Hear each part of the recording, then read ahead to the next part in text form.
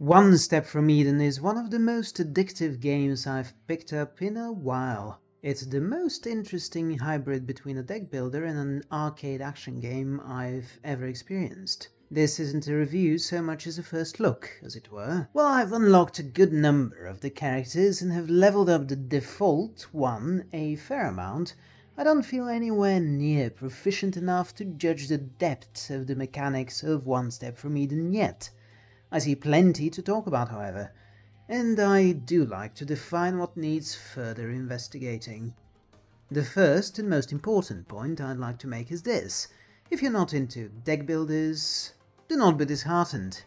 This is far different from anything else that I'd define as part of that genre. In fact, I would define One Step from Eden as a bullet hell action strategy first, second, and third. Deck building defines your arsenal of weaponry for the long way to Eden. Spoilers, it's a lot more than just one step. Combat is defined by positioning on a battle grid, two 4x4 quadrants, for you and your foes each, which should already tell you a little something about what gameplay is going to be. Fast, eventually frantic, reaching more and more extreme amounts of spells, knives, bullets, and far worse thrown at you. Normal mobs usually have a single attack or two, the so-called mini-boss encounters are more intense than normal fights, with a great amount of enemies or a higher tier mob present with more challenging abilities. As you move from one biome to another, there are 8 in all, you'll find yourself in the unenviable position of being in a non-stop, adrenaline-inducing fight for your life. And don't even get me started on the bosses. There are 8 of those in all, all of whom you eventually unlock and can play as. Each of them can start off as mildly annoying and turn into massive threats that you can barely contend with. It will be difficult and it will demand every drop of skill you have. You'll love every minute of it. The only permanent progress you make is to unlock new spells, characters, and items.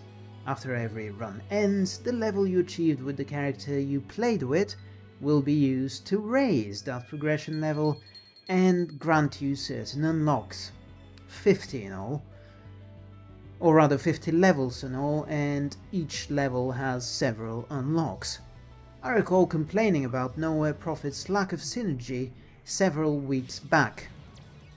In One Step from Eden, synergy is the name of the game. RNG plays a part of course, as with all such roguelikes, but spells are defined in 10 different schools, all of which have catchy names, such as Anima, Knife Tech, Kinesis, Convergence and more. Within these schools you've got a variety of effects. Trinity, for example, which is part of the Convergence school, gives you a status effect that, once you collect three Trinities, does massive damage with a humongous knife appearing in the skies and stabbing down at a foe.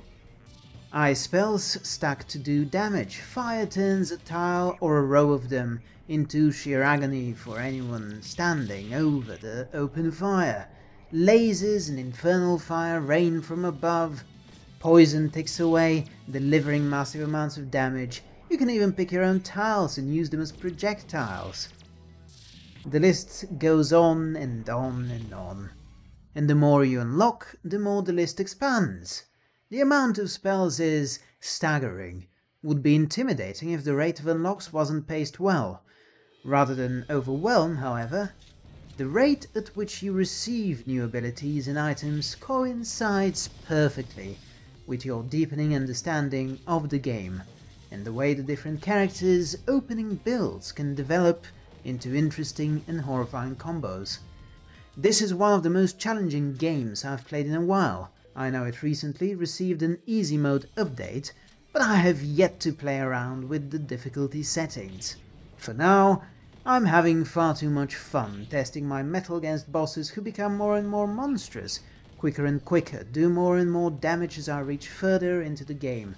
But rather than discourage me, every loss drives me to try harder and harder something that all the best roguelikes and roguelites have in common. I've played a measly several hours so far, but I suspect this will be one of the games that I will revisit in the same way as Hades, Dead Cells, Darkest Dungeon and Slay Spire. The sheer amount of characters as well forces me to go back and explore them further and further, pushing as far as my skills will take me. I'm excited to speak more about One Step from Eden in the future. But I have to warn you, it might be a while. I need to know this game a lot more intimately than I do right now. At the time of writing and recording this, I have played for about 7 hours. I suspect that I will play at least 10 times as much over the coming months. Until then, I'm Filip Magnus. If you enjoyed this video, like it, share it, subscribe. Leave me a comment down below. Have I managed to awaken your curiosity about One Step from Eden? Are you going to play it? Until next time. Bye!